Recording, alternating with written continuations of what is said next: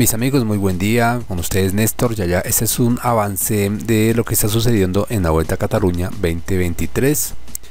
Tenemos a Richard Carapaz metido en una fuga.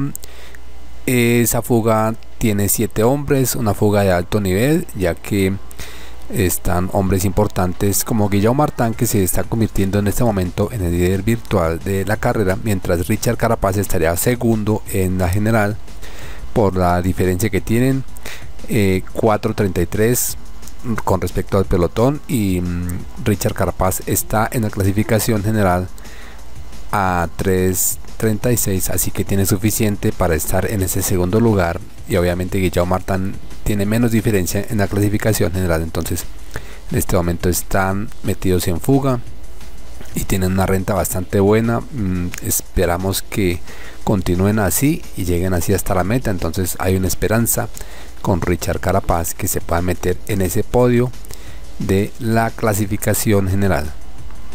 Estamos pendientes de lo que siga sucediendo en esta etapa de hoy, la etapa número 3.